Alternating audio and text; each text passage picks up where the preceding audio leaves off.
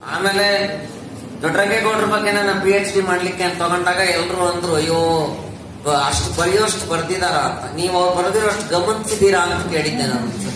ಅವ್ರು ಬರ್ದಿದಾರ, ನೀವು ಗಮನಿಸಿದೀರಾ ಅಂತ ಕೇಳಿ. ಆ ನೋವಿನಲ್ಲೇ ಕೇಳಿದ್ದೆ ನಾನು. ಯಾಕೆಂದ್ರೆ ಯಾಕ ಆ ಮಾತು ಕೇಳೋದಕ್ಕೆ ಒಂದು ಕಾರಣ ಇತ್ತು. ಎಷ್ಟೊಂದು ಜನ ಭಾಷಾ ಗುಳಿಯಂ ಅವರು ಕರೆಕ್ಟ್ ಆಗಿ ಹೇಳೋದು ಗಮನಿಸಿದಾರ ಅಂತ. ನೋಡಿ, ಒಬ್ಬ ಸಮಾನತೆ ತತ್ವ, ಯಾಕಂದ್ರೆ ನಾನು ಸಾಹಿತ್ಯ ಪರಿಷತ್ನಲ್ಲಿ ವೇದಿಕೆ ಮೇಲೆ ಮೊಟ್ಟ ಮೊದಲಿಗೆ ಕೂತ್ಕೊಂಡು ನಮ್ಮಂತ ಪ್ರತಿಭೆಗಳನ್ನ ಗುರುತಿಸಿದಂಥವ್ರು ನನಗೆ ಹಿರಿಯರು ಬಹಳ ಬಹಳ ನಾನು ಗೌರವ ಕೊಡುವಂತ ಕೋಎಂ ರಾಮಕೃಷ್ಣ ಗೌಡರಿಗೆ ನಾನು ಧನ್ಯವಾದಗಳು ಇದ್ದಾರೆ ಪಾಪ. ಅವರು ನೆನೆಸ್ಕೋಬೇಕು ನಾನು. ಕವಿತೆ ಅಂದ್ರೆ ಏನು ಕವಿತೆ ಓದೋದು ಹೇಗೆ ಅನ್ನೋದು ಹೇಳ್ಕೊಟ್ಟವ್ರು. ಅಲ್ಲಿ ಒಂದ್ ಕಡೆ ಬರೀತಾರೆ ದೊಡ್ಡರಂಗೇಗೌಡರು ತುಂಬಾ ಚೆನ್ನಾಗಿ ಬರೀತಾರೆ, ಒಬ್ಬ ಸಾಮಾಜಿಕ ಪ್ರಜ್ಞೆ ಉಳ್ಳ ಕವಿ ಮಾತ್ರ, ಒಬ್ಬ ಸಾಮಾಜಿಕ ಪ್ರಜ್ಞೆ ಉಳ್ಳ ಕವಿ ಮಾತ್ರ ಬರೀತಾನೆ ಅನ್ಸುತ್ತೆ. ಆ ಕವಿ ಹೇಳ್ತಾರೆ ರಾಮನ ದೇಗುಲ ಕಟ್ಟಲು ಹೋಗಿ ರಾವಣರಾಗುವುದೇನು ಚಂದ? ರಾಮರಹಿಮ ಎಲ್ಲ ಬಂದೆ, ಮಾನವರಾದರೆ ಮೈತ್ರಿ ಬಂದ ಅಂತ ಬರೀತಾರೆ ಇದು ದೊಡ್ಡರಂಗೇಗೌಡರ ನಿಜವಾದ ಶಕ್ತಿ. ಆಮೇಲೆ ನರಸಿಂಹಸ್ವಾಮಿ ಅವ್ರದ್ದು ಬರೀತೀವಿ ನಾವು. ಈ ನರಸಿಂಹಸ್ವಾಮಿ ಅವ್ರದ್ದು ಬರೀಬೇಕಾದ್ರೆ, ಓದ್ಬೇಕಾದ್ರೆ ಒಂದು ಗಂಡಿಗೆ ಒಂದು ಹೆಣ್ಣು ಹೇಗೋ ಸೇರಿ ಹೊಂದಿಕೊಂಡು ಅಂತ ಓದ್ತೀವಲ್ಲ? ಆ ತರ ಇವ್ರು ಬರೀತಾರೆ. ಮನೆ ತುಂಬಾ ಕಷ್ಟ ಹೆಂಗಿತ್ತು ಅಂದ್ರೆ ಮನೆಯಲ್ಲೆಲ್ಲ ಸಂಕಟದ ಜಿರಳೆಗಳು ಅಂತ ಬರೀತಾರೆ. ಸಂಕಟನ ಜಿರಡೆಗಳು ಅಂತ ಹೊಲಿಸಿದ ಕವಿ ಬಹುಶಃ ಇವರೊಬ್ಬರೇ ಇರ್ಬೇಕು. ಪೈನ್ಫುಲ್ ಅದು. ಮೈ ಮೇಲೆ ಜಿರಳೆ ಓಡಾಡ್ತಾ ಇದ್ರೆ ಬಹಳ ಕಷ್ಟ. ಅದು ಅನುಭವಿಸಿದವ್ರಿಗೆ ಗೊತ್ತು. ಅವ್ರು ಹೇಳ್ತಾರೆ, ನಾನು ಕುಡಿದಿದ್ದು ಅರ್ಧ ಟೀ, ತಿಂದಿದ್ದು ಅರ್ಧ ರೊಟ್ಟಿ. ಆದ್ರೂ ನನ್ನ ಜೊತೆಗೆ ನೀ ಅಂಟಿ. ಹೇಗೇಗೋ ಬಾಳಲು ಮನಸ್ಸಿರ್ಲಿಲ್ಲ ಅಂತ ಬರೀತಾರೆ ಒಂದ್ ಕಡೆ. ಅದು ಸಮಾಧಾನ. ಪ್ರೀತಿ ಪ್ರಕಾರದಲ್ಲಿ ಅಂತ ಒಬ್ಬ ನರಸಿಂಹಸ್ವಾಮಿ ಅವರ ಛಾಯೆಯನ್ನು ನಾನು ಗುರುತಿಸಿದೆ. ಯಾಕೆ ಹೇಳಿದೆ ಅಂದ್ರೆ, ಆ ಟೈಮ್ನಲ್ಲಿ ಮಗ ಹುಟ್ಟಿದ್ದಾಗ ಬರೀತಾರೆ ಬಂಗಾರ ಬಾನಿನೊಳಗೆ ಭಾಸ್ಕರ ಬಂದ ಅಂತ ಬರೀತಾರ ಅವ್ರ ಮಗನ ಬಗ್ಗೆ. ಆಮೇಲೆ ನಾವೇನು ಅಮೆರಿಕದಲ್ಲಿ ಮೆರೆದು ಬಿಡ್ತೀವಿ. ಅಮೆರಿಕ ಕಣ್ಣಿಗೆ ಕಾಣಿಸಿದ ದೇಶವೆಲ್ಲ, ಕಣ್ಣಿಗೆ ಕಾಣಿಸದ ದೇಶವೆಲ್ಲ ನಾವು ಸ್ವಚ್ಛಂದ ಸುಂದರವೇ. ಆದ್ರೆ ಅವ್ರು ಬರೀತಾರೆ, ಅಪ್ಪನ ಪರಂಪರೆ ಅಪ್ಪಚ್ಚಿಯಾಗಿದೆ ಅಮೆರಿಕ ನಗರದಲ್ಲಿ ಅಂತ. ಅದು ನಮ್ಗೆ ಚಾಟಿ ಏಟಿನ ಸಂದೇಶ. ನಾವು ಅಮೆರಿಕ ಗ್ರೇಟ್ ಅಂತ ಹೇಳ್ತಾ ಇದೀವಲ್ಲ ಅದಕ್ಕೆ ನಮಗೆ ವಿಶೇಷವಾಗಿ ಗಮನಿಸ್ಬೇಕು. ಆಮೇಲೆ ಎಲ್ಲರೂ ಹೇಳ್ತಾರೆ, ನನಗೆ ಒಂದು ವಿಶೇಷ ಏನು ಅಂದ್ರೆ ಆ ಕಾಲದ ಯಾವುದೇ ಯಾವುದೇ ಇವತ್ತು ಬಿಡಿ. ತೂ ಅಂದ್ರು, ಉಗಿದ್ರು ನಿನ್ನ ನಿನ್ನೆ ಪ್ರೀತಿಸ್ತೀನಿ ಬಾಯಿಗೆ ಬಂದಾಗ ಬೈದ್ರು ನಿನ್ನೆ ಪ್ರೀತಿಸ್ತೀನಿ ಅಂತ ಹಾಡುಗಳು ಹುಟ್ಟುತ್ತಾ ಇದೆ. ಆದ್ರೆ ದೊಡ್ಡರಂಗೇಗೌಡರು ಬಂದಿದ್ದು, ಏಸು ವರ್ಷ ಐತೆ ನಿಂಗೆ, ನನ್ನ ಬಂಗಾರಿ. ಕೂಸು ತೂಗೋ ವಯಸ್ಸು ಆಯ್ತು, ನನ್ನ ಸರ್ದಾರ ಅಂತ ಯಾವ ಅಶ್ಲೀಲತೆನೂ ಬರಲ್ಲ. ಅದು ಹೆಣ್ಣುಗಳು ನನ್ನ ತಾಯಿ ಆಗೋ, ನಿನ್ನ ಮಗುವಿಗೆ ತಾಯಿ ಆಗ್ತೀನಿ ಅಂದಾಗ ಯಾವ ಘನತೆ ಬಂದ್ಬಿಡುತ್ತಲ್ಲ, ಅದು ದೊಡ್ಡರಂಗೇಗೌಡರ ಸಾಹಿತ್ಯದ ತಾಕತ್ತು ತೂ ಅಂದ್ರು, ಉಗಿದ್ರು ಬಾಯಿ ಬಾಯಿ ಬಂದ ಹಂಗಲ್ಲ ಬರೆಯೋದು. ಅದರಿಂದ ಎಷ್ಟು ಪದಗಳು, ನೋಡಿ, ಕೆ ವಿ ಮಹಾದೇವನ್ ಅಂತಿಂತ ದೊಡ್ಡ ಸಂಗೀತ ನಿರ್ದೇಶ, ಬಹಳ ದೊಡ್ಡ ಸಂಗೀತ ನಿರ್ದೇಶಕರು. ಅಂತವ್ರು ಕೇಳಿ ಇವರು ಬರೀತಾರೆ ಹಾಡನ್ನ. ಕೃಷ್ಣ ರುಕ್ಮಿಣಿ, ಕೃಷ್ಣ ಕೃಷ್ಣ ರುಕ್ಮಿಣಿಗೆ ಒಂದು ಹಾಡು ಬರೀತಾರೆ. ಅಲ್ಲಿ ಕೆ ವಿ ಮಹಾದೇವನ್ ಹೇಳದ್ರಂತೆ ನಾವು ಒಂದ್ಸರ್ತಿ ಹೇಳಿದ್ರು. ಅವ್ರು ತಮಿಳು, ಬಟ್ ಅವ್ರು ಹೇಳಿದ್ರಂತೆ ಕವಿಗಳೇ, ನಿಮ್ಮ ಹಾಡಿನಲ್ಲೇ ಸಂಗೀತ ಇದೆ ಅಂತ, ನಿನ್ನ ಹೆಜ್ಜೆ ಕಲಿಯಿರುವಾಗ ಅಂತ ಬರೀತಾರೆ. ಆ ಸಾಲುಗಳಲ್ಲಿ ಮೋಹನ್ ರಾಗ ಅದು ಹಂಗಂಗ ಹಂಗಂಗೆ ಕೂತ್ಕೊಳ್ಳುತ್ತೆ ಅದು ಕರೆಕ್ಟ್ ಆಗಿ. ಅದು ಒಬ್ಬ ಸಾಹಿತಿ ಸಂಗೀತದ ಲಯಕ್ಕೂ ತಕ್ಕ ಬರೆಯೋದಿದೆಯಲ್ಲ ಅದು ದೊಡ್ಡತನ. ಅದು ದೊಡ್ಡರಂಗೇಗೌಡರಲ್ಲಿದೆ. ಯಾಕಂದ್ರೆ ಅವರಲ್ಲಿ ಒಬ್ಬ ಸಂಗೀತ ನಿರ್ದೇಶಕರು ಇದ್ದಾರೆ, ಒಬ್ಬ ಗಾಯಕರು ಇದ್ದಾರೆ, ಒಬ್ಬ ಕವಿನೂ ಇದ್ದಾರೆ, ವಿಮರ್ಶಾ ಲೋಕವೂ ಇದೆ. ಚನ್ನಣ್ಣ ವಾಲಿಕಾರರ ಶಬ್ದಗಳನ್ನು ಕೇಳ್ತಾ ಇದ್ರೆ ನಮ್ಗೆ ಬೇಂದ್ರೆ ಅವ್ರ ಸ್ವಪ್ನ ಅನ್ಸ್ಬಿಡುತ್ತೆ. ಬೇಂದ್ರೆ ಅವ್ರ ಕವಿತೆಗಳ ಅನ್ಸ್ಬಿಡುತ್ತೆ. ಆ ತರದ ಸ್ಟೈಲ್ ಇದೆ. ಬಹಳ ವಿಶೇಷವಾಗಿ ನನಗೆ ಒಂದು ಬೇಸರದ ಸಂಗತಿ ಏನು ಅಂದ್ರೆ, ದೊಡ್ಡರಂಗೇಗೌಡರನ್ನ ಮಾತಾಡಿಸುವಾಗೆಲ್ಲ ತೇರ ಏರಿ ಎಂಬರ್ದಾಗೆ ಬಹಳ ಮೆಚ್ಕೊಳ್ತೀನಿ ನಾನು, ಇಲ್ಲ ಅಂತ ಹೇಳಲಿಲ್ಲ. ನನಗೆ ವಿಶೇಷವಾಗಿ ಕಾಡುವಂಥದ್ದು ಯಾವುದು ಅಂತ ಒಬ್ಬ ಕವಿ ಏನಾದ್ರು ಒಂದು ಸಂದೇಶ ಬರೆದಿರ್ತಾರೆ ಕವಿತೆಯಲ್ಲಿ. ಅದು ನಮ್ಗೆ ಅರ್ಥ ಆಗಬೇಕು ತೇರ ಏರಿ ಬಂದಾಗೆ ಎಲ್ಲ ಸ್ವಚ್ಛ ಕನ್ನಡ ಪದಗಳು, ಅಚ್ಚ ಕನ್ನಡದ ಪದಗಳು ನಿಜ ಒಪ್ಕೊಳ್ತೀನಿ ನನಗೆ ವಿಶೇಷ ಗೌಡ್ರು ಎಲ್ಲಿ ಅನ್ಕೊಳ್ತಾರೆ ಅಂದ್ರೆ ಭೇದ ಭಾವ ಮುಚ್ಚು ಮರೆ ಮುಂಚು ಮರೆ ಒಂದು ಮಾಡದೇನೆ ಆ ಸೂರ್ಯ ಒಂದೇ ಬೆಳಕ ನಮಗೆ ನೀಡಿಯಾನೆ ಇದು ನಮ್ಗೆ ಅರ್ಥ ಆಗಬೇಕಾಗಿರೋ ಸತ್ಯ. ಇದನ್ನು ಗೌಡ್ರು ಕೊಟ್ರು ನಮ್ಗೆ. ಒಲುಮೆ ಸಿರಿಯ ಕಂಡು ಬರೀತಾರೆ ನನಗೆ ಯಾವಾಗಲೂ ನಾನು ಹೇಳೋದು, ಏನ್ ಸರ್, ನಂಗೆ ಅದಕ್ಕಿಂತ ಇಷ್ಟವಾದ ಇನ್ನೊಂದು ಹಾಡು ಸರ್. ಯಾಕೆ ಅಂತಂದ್ರೆ, ಅಲ್ಲಿ ಬರೀತಾರೋ ಅದೇ ಸಿನಿಮಾದ ಇನ್ನೊಂದು ಹಾಡಿಗೆ ಹೊನ್ನಿಗೆಂದು ಬೆಲೆಯ ಕೊಡದೆ ಪ್ರೀತಿ ಮಾಡಿದೆ ಅಂತ ಬರೀತಾರೆ. ಅದು ಶ್ರೀಮಂತಿಕೆ ನೋಡಿ ಅದು ಅಷ್ಟು ಸರಳವಾಗಿ ಬರೀತಾರೆ.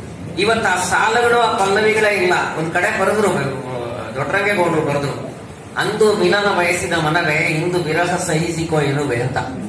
ಇವತ್ತು ಹಳೆ ಪಾತ್ರೆ, ಹಳೆ ಕಬ್ಬಣಗಳೇ ಸಾಹಿತ್ಯ ಸರಕುಗಳು. ಬಹಳ ಬೇಸರದ ಸಂಗತಿ. ಅಂಥದ್ದು ಯಾವುದನ್ನೂ ಅವರು ರಿಂಗಣ ಅಂತಲ್ಲ ಅಪರೂಪದ ಶಬ್ದಗಳನ್ನು ಬಳಸ್ತಾರೆ. ದೀಪ ಸಿನಿಮಾಗಳನ್ನು ಬಳಸ್ತಾರೆ. ಆ ಥರದ್ರಲ್ಲಿ ಮತ್ತೆ ಬಹಳ ದೊಡ್ಡ ಅವರ ಕಾವ್ಯ ಶಕ್ತಿ ಏನು ಅಂದ್ರೆ ಸಮಾಧಾನ. ಅವರ ಕಾವ್ಯ ಶಕ್ತಿಯ ನಿಜವಾದ ಗುಣ ಏನು? ಸಮಾಧಾನ ಸಮಾಧಾನ ಸಮಾಧಾನ. ಎಷ್ಟು ಒಳ್ಳೆ ಶಬ್ದಗಳಿದೆ ಅವರ ಹತ್ರ ಅಂದ್ರೆ, ಪ್ರಶಾಂತ ಊರಿನ ನಿಶಾಂತ ಮೌನಕ್ಕೆ ತೆನೆ ತೆನೆ ಬಡದಿತ್ತು, ಡೈನಮೈಟ್ಸ್ ಹಿಡಿದಿತ್ತು ಅಂತ ಬರೀತಾರೆ ಯಾವುದನ್ನ ನಾವು ಕುವೆಂಪು ಅವರಲ್ಲಿ, ಹಾಳೂರು ಅನ್ನೋ ಪದ್ಯದಲ್ಲಿ, ಅಕ್ಕ ಸಾಲಿಗರಲ್ಲಿ, ಅಸ ನಿನಗೆ ವಸನವನಿತ್ತವರೆಲ್ಲಿ ಅಂತ ಕರೀತಾರೋ? ದೊಡ್ಡರಂಗೇಗೌಡರು ಅದನ್ನು ಬರೆದಿದ್ರು, ಡೈನಮೈಟ್ಸ್ ಸಿಡಿದಿತ್ತು ಎಷ್ಟು ಚೆನ್ನಾಗಿದೆಯೋ ಅದು. ನಂಗೆ ತುಂಬಾ ಇಷ್ಟವಾದ ಸಾಲು ಅಂದ್ರೆ ಬೆಣಂಭೂತ ಅನ್ನೋದ್ರಲ್ಲೂ ಬರೀತಾರೆ. ಯಾರದು ಶಾಲೆ ಮುಚ್ಚಿತು ಕೊನೆಗೆ ಮೇಷ್ಟ್ರು ಹೋದ್ರು ಮನೆಗೆ ಅಂತ. ಮೇಲ್ನೋಟಕ್ಕೆ ಹಾಸ್ಯ ಆದ್ರೆ ಹಾಸ್ಯ ಅಲ್ಲ. ಹಾಸ್ಯದ ಲೇಪನ ಇರುವಂತದ್ದಷ್ಟೇ ಅದರಿಂದ ಯಾವುದನ್ನು ಮುಟ್ಟಿಲ್ಲ ಅಂತ. ಗೊಮ್ಮಟಗಾಥ ಅಂತ ಬರೀತಾರೆ. ಗೊಮ್ಮಟೇಶ್ವರನ ಬಗ್ಗೆ ಪ್ರಗಾಥ ರೂಪದಲ್ಲಿ. ಅಷ್ಟಲ್ದಿರ ಹೇಳಿಲ್ಲ, ಕಂಬಾರರು. ಇವತ್ತು ಪ್ರಗಾರ್ಥ ಪ್ರಪಂಚದಲ್ಲಿ ಪ್ರಗಾರ್ಥವನ್ನು ಮರಿತಾ ಇದ್ದೇವೆ. ದೊಡ್ಡರಂಗೇಗೌಡರ ಹೆಸರು ಹೇಳ್ಕೊಂಡೇ ಪ್ರಗಾರ್ಥ ಪರಂಪರೆಯನ್ನು ಮುಂದುವರಿಸಬೇಕು ಅಂತ ಕಂಬಾರರು ಹೇಳಿದ್ದಾರೆ. ಇವರು ಗುರುಗಳವರು. ಗುರು ಒಬ್ಬ ಶಿಷ್ಯರ ಬಗ್ಗೆ ಇಷ್ಟು ಚೆನ್ನಾಗಿ ಹೇಳ್ತಾರೆ ಅಂದ್ರೆ ಅದು ನಮಗೆಲ್ಲ ಮಾರ್ಗದರ್ಶಿ. ಪ್ರಗಾರ್ಥವನ್ನ ಇವ್ರ ಹೆಸರು ಹೇಳ್ಕೊಂಡೇ ಬದುಕಬೇಕು. ಆಮೇಲೆ ನಂಗೆ ಅನಂತಮೂರ್ತಿ ಅವರು ದೊಡ್ಡರಂಗೇಗೌಡರ ಬಗ್ಗೆ ಹೇಳಿರೋ, ತುಂಬಾ ಇಷ್ಟವಾದ ಸಾಲು ಯಾರ ಸತ್, ಯಾರ ಮಾತುಗಳಿಗೂ ಅಷ್ಟಾಗಿ ತಲೆ ಕೆಡಿಸಿಕೊಳ್ಳದೆ ಸತ್ತಿಲ್ಲದೆ ಸಾಗಿದ ಕವಿ ಇದು ನಿಜವಾಗಿ ಬೇಕಾಗಿರೋದು ಕವಿ. ಯಾರು ಏನಾದ್ರು ಅನ್ಕೊಳ್ಳಿ, ನನ್ನ ದಾರಿ ನಂದು. ಹಳ್ಳಿ ಹುಡುಗ ನಾನು ಜೊಳ್ಳು ಜೊಳ್ಳೆನಲ್ಲ ಅಂತ ಬರೀತಾರೆ ಒಂದ್ ಕಡೆ. ಇವತ್ತು ಆ ಶಬ್ದಗಳು ನಮಗೆ ನಿಜವಾಗ್ಲೂ ನಾನು ಅವ್ರಿಗೆ ಅಭಿನಂದಿಸೋದು ಯಾಕೆ ಅಂದ್ರೆ, ಇಹದ ಜೀವನ ಸಗ್ಗದ ಸೈಪು ಅಂತ ಬರೀತಾರೆ. ಇವತ್ತು ನಮ್ಮ ಮಕ್ಕಳನ್ನ ಕೇಳ್ಬೇಕು ನಾವು. ಸಗ್ಗ ಅಂದ್ರೆ ಏನು ಅಂದ್ರೆ ಆಮೇಲೆ ಬಂದು ಹೇಳ್ತೀವಿ ಅಂತ ಹುಡುಗರು. ಇಹದ ಜೀವನ ಸಗ್ಗದ ಸೈಪು ಅಂತ ಕರೀತಾರೆ. ಶ್ರದ್ಧೆ ಇದ್ದರೆ ಸೋಮವಾರಿ ಇದ್ದೆ ಗಡೀಪಾರು ಅಂತ ಬರೀತಾರೆ. ಯಾವ ವಿಶ್ವಕರ್ಮನ ಕಪಿಲೆ ರಾಟೆಯೋ ನೀನು ಅಂತ ಬರೀತಾರೆ. ಇವತ್ತು ನಾವು ಹುಡುಕಬೇಕು ಎಷ್ಟು ಒಳ್ಳೊಳ್ಳೆ ಶಬ್ದಗಳು ಬರುತ್ತೆ ಅಂತಂದ್ರೆ ಅವ್ರ ಬಾಯಲ್ಲಿ ಅವ್ರ ಲೇಖನಿಗಳು ನೋಡು, ಅವ್ರ ಲೇಖನಗಳನ್ನ, ಅವರ ಕವನಗಳನ್ನ ನೀವು ಓದಿದ್ರೆ ಬಹಳ ಒಳ್ಳೆಯ ಶಬ್ದಗಳು ಬರುತ್ತೆ. ಆಕ್ರಾಂತ ಅಂತ ಬರೀತಾರೆ ಅವ್ರ ಕಡೆ. ಸುಖೇಪ್ಸಿತ ಅಂತ ಬರೀತಾರೆ. ಅಭಿಪ್ಸೆ ಇವತ್ತು ಅದು ಆ ಟ್ರೆಂಡೇ ಹೊಟ್ಟೋಗ್ತಾ ಇದೆ. ಅವತ್ತು ಇವತ್ತಿಗೆ ಶಬ್ದಗಳೇ ಕಣ್ಮರೆ ಆಗ್ತಾ ಇದೆ. ಮಣ್ಮರೆ ಆಗ್ತಾ ಇದೆ.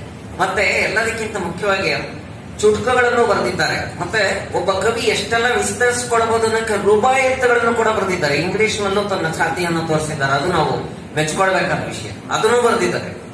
ಒಬ್ಬ ಕವಿ ಆಮೇಲೆ ನಾಟಕಗಳಲ್ಲಿ ಗುರುತಿಸ್ಕೊಳ್ಬೇಕು.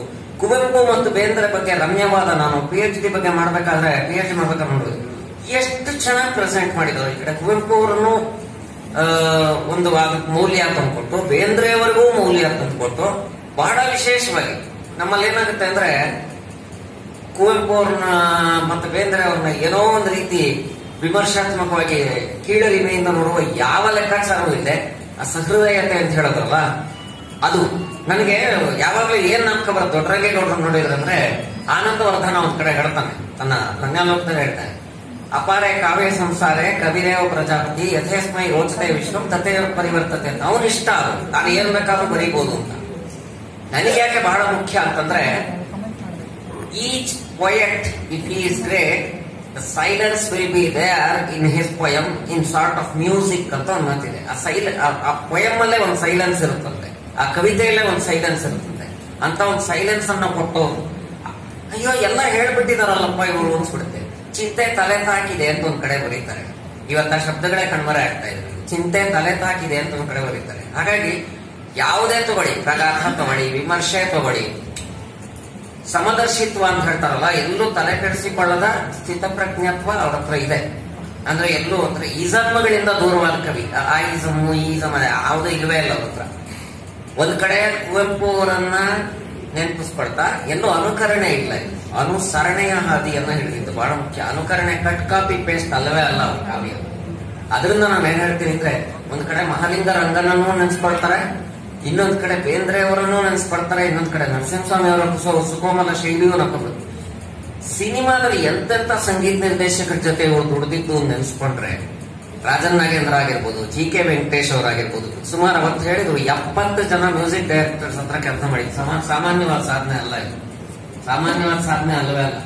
ನಮ್ಮ ಕರ್ನಾಟಕದಲ್ಲಿ ತೆಲುಗಿನ ನಾರಾಯಣ ರೆಡ್ಡಿ ಅವರು ಎರಡೂ ಕ್ಷೇತ್ರದಲ್ಲಿ, ಸಿನಿಮಾ ಮತ್ತು ಸಾಹಿತ್ಯ ಎರಡನ್ನೂ ಬಳಸ್ಕೊಂಡು ಕ್ಷೇತ್ರ ಮಾಡಿದ್ದನ್ನು ಗುರುತಿಸಿದ್ರು ಆ ಭಾಗ್ಯ ನಮ್ಮ ಕನ್ನಡದಲ್ಲಿ ಏನಾದ್ರೂ ಆಗಿದ್ದಿದ್ರೆ ದೊಡ್ಡರಂಗೇಗೌಡರ ಸ್ಥಾನ ಇನ್ನಷ್ಟು ದೊಡ್ಡ ಮಟ್ಟಕ್ಕೆ ಹೋಗ್ತಾ ಇತ್ತು. ಅದ್ರಲ್ಲಿ ಅನುಮಾನವೇ ಇಲ್ಲ. ವರ್ಗೀಕರಣವೇ ತಪ್ಪು ಸಿನಿಮಾ ಸಾಹಿತ್ಯ ಅಂದ ತಕ್ಷಣ ಸಿನಿಮಾ ಮಾತ್ರ. ಕ್ರಿಕೆಟ್ ಆಟಗಾರನ ಕೇವಲ ಟೆಸ್ಟ್ ಕ್ರಿಕೆಟ್ ಮಾತ್ರ ಸೀಮಿತ ಅಂತ ಹಾಕಿ ಉಳಿದಕ್ಕೆ ಅವಕಾಶ ಕೊಡಲಿಲ್ಲ ಅಂದ್ರೆ ಏನು ದುರಂತ ಆಗುತ್ತೋ? ಆ ದುರಂತದ ಅಪಸೌಲ್ಯಗಳನ್ನ ಕನ್ನಡದ ಬಹಳ, ಬಹಳಷ್ಟು ಪ್ರತಿಭಾವಂತ ಸಾಹಿತ್ಯಗಳು ಅನುಭವಿಸ್ತಾ ಇದ್ದಾರೆ. ಆತರ ದೊಡ್ಡರಂಗೇಗೌಡರಲ್ಲಿ ನನಗೆ ಕಾಣಿಸೋದು ಮನುಷ್ಯ ಪ್ರೀತಿ ಆ ಮನುಷ್ಯ ಪ್ರೀತಿಯನ್ನು ಅವರು ಬಿಟ್ಟುಕೊಟ್ಟೇ ಇಲ್ಲ. ಆಮೇಲೆ ಬಹಳ ನಮ್ಮ ಪ್ರೀತಿಯ ಪದ್ಯ ಅಂತಂದ್ರೆ, ನಾನು ಸತ್ತ ದಿನ ಅಂತ ಒಂದು ಬರೀತಾರೆ ಅದರ ಕಾವ್ಯದ ಲಯವೆಲ್ಲ ವಾಚ್ಯನೇ. ನಾನು ಸತ್ತ ದಿನ ಪತ್ರಿಕೆಗಳು ಬರುತ್ತವೆ, ರೇಡಿಯೋಗಳು ಹಾಡುತ್ತವೆ, ಎಲ್ಲ ಬರೀತಾರೆ. ಎಲ್ಲರೂ ಏನ್ ಅನ್ಕೊಂಡ್ಬಿಡ್ತಾರೆ? ನಾನು ಸತ್ತ ದಿನ ಅಂದ್ರೆ ಕವಿ ಸತ್ವಾದ ಮೇಲೆ. ನಾನು ಚಿಕ್ಕ ಡ್ಯಾಶ್ ಹೊಂದಿದೆ. ಅದನ್ನ ಗಮನಿಸ್ಬೇಕು. ನಾನು ಸತ್ತ ದಿನ ಅಂದ್ರೆ ನಾನು ಒಂದು ಅಹಂಕಾರ ಸತ್ರು, ಹೇ ಮನುಷ್ಯ, ನೀನು ನೀನು ಒಂದು ಅಹಂಕಾರ ಸತ್ರು ಪ್ರಪಂಚ ಏನ್ ಬದಲಾಗಲ್ಲ. ನಿನ್ನನ್ ಕೇಳ ಪ್ರಪಂಚ ಮುಳುಗಲ್ಲ. ನಿನ್ನ ಕೇಳ ಪ್ರಪಂಚ ಮೂಡೋದು ಇಲ್ಲ. ನೀನಿದ್ರು ಇಲ್ಲದೆ ಇದ್ರು ಅದು ಪಾಡದ ನಡೆಯುತ್ತೆ. ನಾನು ಅನ್ನೋ ಅಹಂಕಾರವನ್ನ ಮೀರಬೇಕು ಅನ್ನೋ ಶಕ್ತಿಯಲ್ಲಿರೋದು. ಅದನ್ನು ಗುರುತಿಸಿರೋದು. ಆಮೇಲೆ ಗುಬ್ಬಚ್ಚಿಗಳ ಗೈರು ಹಾಜರಿ ಅಂತ ಬರೀತಾರೆ. ಅಯ್ಯೋ ಗುಬ್ಬಚ್ಚಿಗಳ ನಾಶ, ವಿನಾಶದ ಅಂಚೆ ಅಂತ ಬರೀತಾರೆ. ಆದ್ರಿಂದ ಒಬ್ಬ ಕವಿ ಇಷ್ಟೆಲ್ಲ ಪ್ರಾಗ್ಮ್ಯಾಟಿಕ್ ಆಗಿ, ಇಷ್ಟೆಲ್ಲ ಯೋಚನೆ ಮಾಡಿ ದೈವ ಜಗದ ದ್ವೇಷಿ ಅಂತ ಬರೀತಾರೆ ಒಂದ್ ಕಡೆ. ದೈವ ಜಗದ ದ್ವೇಷಿ ಅಲ್ಲ ಅಂತ ಅವ್ರು ಹೇಳೋದು ಕೊನೆ. ಅದರಿಂದ ನಗರೀಕರಣ, ಜಾಗತೀಕರಣ ಎಲ್ಲವನ್ನು ನನಗೆ ಯಾಕೆ ಹೇಳ್ತೀನಿ? ಇವ್ರನ್ನ ನೋಡಿದ್ರೆ ನನಗೆ ಅನ್ಸೋದು. ಜಾನ್ ಕಿಡ್ಸ್ನ ಮಾತು ಮತ್ತೆ ಮತ್ತೆ ನೆನಪಾಗುತ್ತೆ. Heard melodies are sweet but those unheard are more sweeter ಅಂತ ಹೇಳ್ತಾನೆ ಜಾನ್ ಕಿಡ್ಸ್ ಹಾಗಾಗಿ ಅದನ್ನ ಹೇಳ್ತೀನಿ. ಅದು ನನಗೆ ಬಹಳ ಮುಖ್ಯ ಅನ್ಸುತ್ತೆ. ಒಬ್ಬ ಮನುಷ್ಯ ಪ್ರೀತಿ, ಮನುಷ್ಯತ್ವದ ಪ್ರೀತಿ ಜಗದಿ ಹತ್ತಿ ಹಿಡಿದು ಹೇಳ್ತಾರಲ್ಲ ಮುದ್ದೆ ಸೊಪ್ಪಿನ ಸಾರು, ನನ್ನ ಭಾಗ್ಯ, ನೆಲದ ಪದ ಒಂದು ಬರೀತಾರಲ್ಲ, ಅದಕ್ಕೂ ತಾಕತ್ ಬೇಕು, ಅದನ್ನ ನಾವು ಮೆಚ್ಕೊಳ್ಬೇಕು. ಹಾಗಾಗಿ ಅಂಥ ಒಬ್ಬ ಕವಿತ್ವವನ್ನ, ಒಂದು ಕವಿಯನ್ನ, ಕಾವ್ಯವನ್ನ ಸದಾ ತನ್ನ ಹೃದಯದಲ್ಲಿ ಜೊತೆಗಿಟ್ಟುಕೊಂಡಿರುವಂತಹ ಕವಿ, ಸುಮನಸ್ಸಿನ ಕವಿ ಅಂತ ಹೇಳ್ಬೋದು, ಒಬ್ಬ ಮನುಷ್ಯ ಪ್ರಜ್ಞೆ, ಮನುಷ್ಯತ್ವದ ಕವಿ ಅಂತ ಹೇಳ್ಬೋದು. ವ್ಯಕ್ತಿಯಾಗಿ ಕವಿಯ ಎರಡರಲ್ಲೂ ತನ್ನ ಹಾಜರಿಯನ್ನ ಪ್ರಕಟಿಸ್ತಾನೆ ನಾನು ಬಂದು ರೇಗಿಸ್ತಾ ಇರ್ತೀನಿ ಅವ್ರಿಗೆ ಯಾವಾಗಲೂ. ಒಂದ್ಸತಿ ಕೇಳಿದೆ, ರಂಗು ಅಂತ ಬಳಸ್ತಿರಲ್ಲ ಸರ್ ನಿಮ್ ಶಬ್ದಗಳಲ್ಲಿ. ಕತ್ರಗುಪ್ಪೆ ಹತ್ರ ಕಾಫಿ ಕುಡಿಬೇಕಾದ್ರೆ ನಾನು ಕೇಳಿ ನೆನಪಿದೆ? ಭಾನುವಾರ time December twenty six wrong ಅವಾಗ, ಇಲ್ಲ, ಅದ್ ನನ್ನ ಸೀಲು ಅದ್ ನನ್ನ ಸ್ಟ್ಯಾಂಪು ನಿಜ, ಅದಿರ್ಬೇಕು. ಒಬ್ಬ ಕವಿಗೆ ಅದ್ ನೋಡಿದ ತಕ್ಷಣ ಬೇಂದ್ರ ನೋಡಿದ ತಕ್ಷಣ ಬೇಂದ್ರೆ ನೋಡಿದ ತಕ್ಷಣ, ಈ ಬೇಂದ್ರದ್ದು ಗೊತ್ತಾಗ್ಬಿಡುತ್ತೆ. ಇದು ಕಂಬಾರದು ಅಂತ ಗೊತ್ತಾಗುತ್ತೆ. ಈ ದೊಡ್ಡರಂಗೇಗೌಡ್ರದ್ದು ಗೊತ್ತಾಗಬೇಕು, ಅದು ತಪ್ಪಲ್ಲ.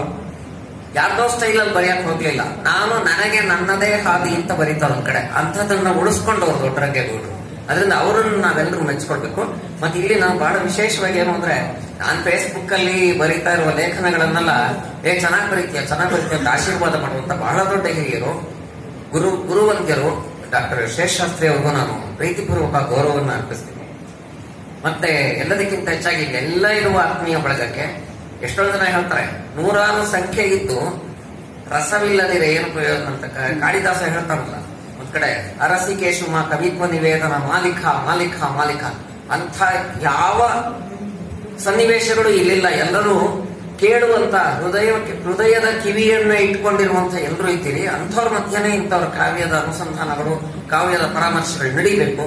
ಹಾಗೆ ಹೇಳ್ತಾ ಎಲ್ಲ ಹಿರಿಯರಿಗೂ ವಂದಿಸ್ತಾ ಆಮೇಲೆ ಈ ಅಧ್ಯಕ್ಷತೆಯನ್ನು ವಹಿಸಿಕೊಂಡಿರುವಂತ ಭೈರವಮೂರ್ತಿಯವರಿಗೂ ವಂದಿಸ್ತಾ ಈ ಕ್ಲುಪ್ತ ಕಾಲದಲ್ಲಿ ಬೇಕಾದ್ರೆ ಮಿತ್ರ ಸರ್ಗಳು ಹೆಚ್ಚು ಮಾತಾಡಬೇಡ. ಕಣ ಹೆಚ್ಚು ಮಾತಾಡಿದ್ರೆ ಸರಿ ಹೋಗಲ್ಲ. ಇಷ್ಟು ಲಿಮಿಟ್ ಹಾಕು ಅಂತ ನಾನು ಸ್ನಾತಕೋತ್ತರ ಸಮಯದಲ್ಲಿ ಹೇಳಿದ್ರು. ಅದು ಇವತ್ತಿಗೂ ಪಾಲಿಸ್ಕೊಂಡ್ ಬಂದಿದ್ದೀನಿ. ಹಾಗಾಗಿ ಇದು ಮಾತು ಮೌನವಾಗುವ ಹೊತ್ತಾದ್ರಿಂದ ಹೆಚ್ಚು ಮಾತಾಡೋದನ್ನ ನಾನು ಯಾವತ್ತೂ ಇಷ್ಟಪಡೋನಲ್ಲ. ಮಾತು ಮೌನವಾಗಲಿ, ಮೌನದ ಮಾತಿನಲ್ಲಿ ಹೆಚ್ಚು ಅರ್ಥವಿರಲಿ, ಆಗ ದೊಡ್ಡರಂಗೇಗೌಡರ ಕಾವ್ಯ ಆಚಂದ್ರಾತ್ಮಕ ಉಳಿಲಿ ಸೂರ್ಯ ಸ್ಪಷ್ಟ ಸಾಕ್ಷಿಯಾಗಿ ಉಳಿಯಿರಿ ಅವಿಚ್ಛಿನ್ನ ಸಾಕ್ಷಿಯಾಗಿ ಉಳಿತಾ ಇರಲಿ ಕವಿಯ ಕಾವ್ಯಕ್ಕೆ ಯಾವತ್ತೂ ಸಾವಿಲ್ಲ. ಅದು ಆಚಂದ್ರಾರ್ಕ ಮತ್ತೆ ಶಾಶ್ವತ. ಅದು ಅಜರಾಮರವಾದ ಶಕ್ತಿಯನ್ನು ಉಳ್ಕೊಂಡೇ ಇರುತ್ತೆ. ಕವಿಯ ನಿಜವಾದ ಶಕ್ತಿ ಅದು ಅಂತ ಹೇಳ್ತಾ ದೊಡ್ಡರಂಗೇಗೌಡರಿಗೆ ದೊಡ್ಡ ರೀತಿಯಲ್ಲಿ ವಂದಿಸ್ತಾ ನನ್ನ ಮಾತುಗಳಿಗೆ ಇತಿಶ್ರೀ ಹೇಳ್ತಾ ಇದ್ದೀನಿ. ಎಲ್ರಿಗೂ ಅಜಸ್ತ್ರ ವಂದನೆಗಳನ್ನ ಅರ್ಪಿಸ್ತಾ ಇದ್ದೀನಿ.